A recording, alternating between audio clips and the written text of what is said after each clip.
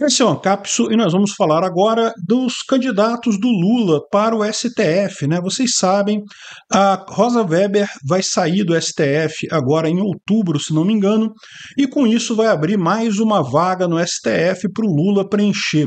E tinha muita gente querendo que ele indicasse uma outra mulher, até uma mulher negra e coisa e tal, mas parece que vai ser só política mesmo. Né? A gente pode acusar o Lula de muita coisa, mas o bicho é um ser político político, o cara sabe se virar na política bem. Olha só a justificativa que ele está dando para escolher um outro candidato absurdamente político. Ele quer evitar mais um conservador depois do Zanin. Que história é essa? Vamos entender esse assunto aqui. Essa notícia foi sugerida por um monte de gente. Eu agradeço a todo mundo que sugeriu as notícias lá, usando o arroba ancapsubot lá no Twitter. Agradeço também a você que está assistindo o nosso vídeo. Se você gosta do nosso conteúdo, por favor, deixe o seu like, se inscreva aqui no canal. Você sabe, uh, eu estou sem o meu sistema aqui, eu não consigo ainda acreditar as pessoas, mas eu continuo agradecendo a todo mundo também. E vai voltar o sistema, tá? Daqui a pouquinho volta. Assim que eu voltar lá para o Rio, eu dou um jeito de resolver isso. Pois bem, olha que coisa, né? Vocês sabem que o Lula só vai conseguir indicar nesse mandato dele duas cadeiras do STF, né? A menos que aconteça algum acidente, que algum ministro morra ou, ou, ou peça aposentadoria precoce.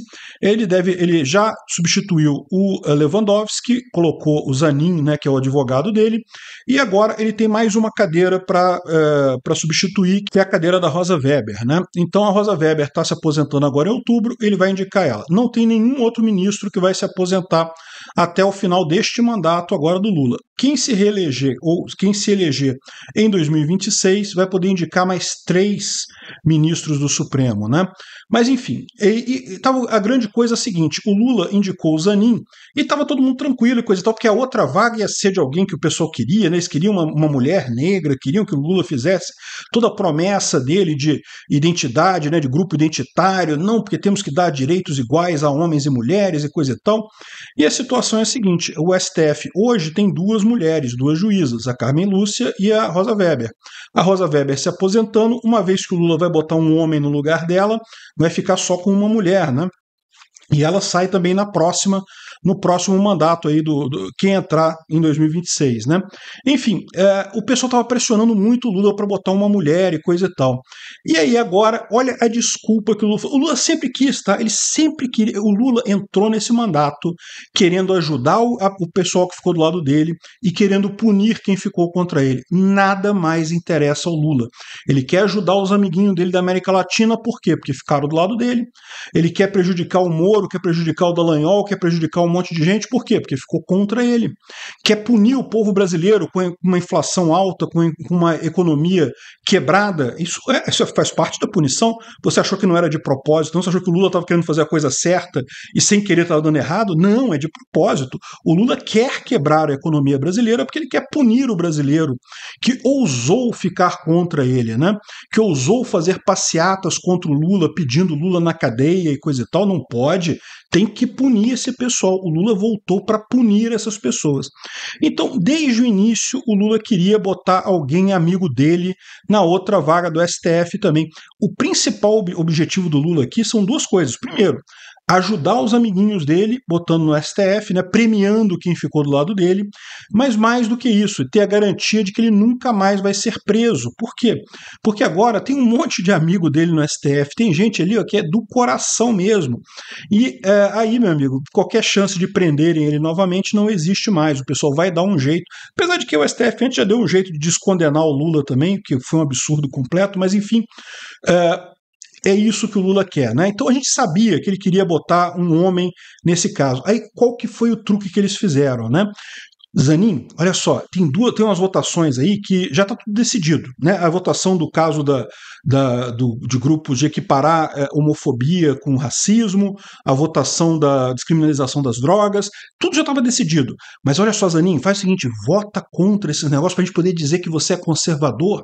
Eu avisei isso, eu falei, isso é natural. Um monte de juiz já fez isso, de é, nos primeiros julgamentos, depois que é empossado, votar contra a corrente política que ele fez para mostrar independência, mas tipicamente fazem isso em julgamentos que já estão decididos. Você quer ver um outro caso? O próprio Faquin quando o Faquin foi nomeado para o STF, muita gente ficou com o pé atrás, porque o Faquin era advogado do MST, da esquerda, não sei o que lá.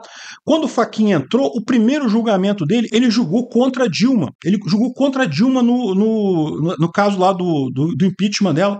Você pode falar, caramba, que absurdo, como é que o cara acabou de ser nomeado pela Dilma, vai lá e vota contra ela?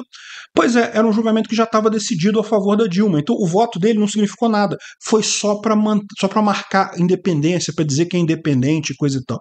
É a mesma coisa que o Zanin está fazendo agora. E agora a gente está percebendo que eles estão usando isso para convencer a esquerda a aceitar o nome que o Lula quer.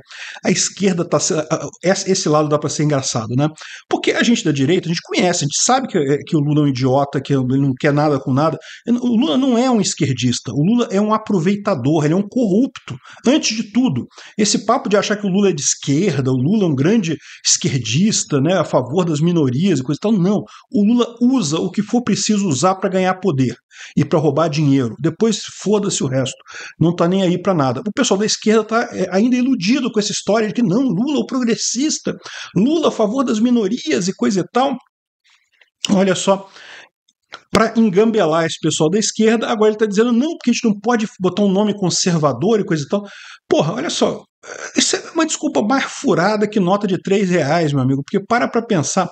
É lógico que se o Lula fosse escolher uma mulher negra para o STF, ele escolheu uma mulher lá da, dos movimentos sociais, lá da esquerda, profundamente esquerdista, não tem nenhum risco de colocar mais um conservador lá contrário. Eu diria que tem o risco desses dois caras aqui serem conservadores, porque, meu amigo, é o que eu falo para vocês, o Lula não está nem aí para política, o Lula quer dinheiro, ele quer corrupção, ele quer roubar, é dinheiro e poder, é o que o Lula quer. Ele não está nem aí para ideologia de nada. Então, o risco grande é esse. Ele já falou aqui, ó, a escolha já está entre dois aqui, ó. Jorge Bessias, o Bessias da carta, você lembra que a Dilma falou? Ó, Bessias está indo aí entregar um papel para você usar se te chamarem. Gente, isso foi um escândalo isso na época, cara. Como é que as pessoas não se tocam nisso? O cara que foi de motoboy no aeroporto entregar o papel para o Lula, né? O que, que era o papel? Era a nomeação do Lula como ministro do governo Dilma. O papel era para o Lula guardar. Se a Polícia Federal batesse na porta do Lula, o Lula mostrava o papel dizendo que ele estava, ele era ministro. Me nomeou, me nomeou ministro, não posso ser preso. Isso aconteceu no Brasil, cara.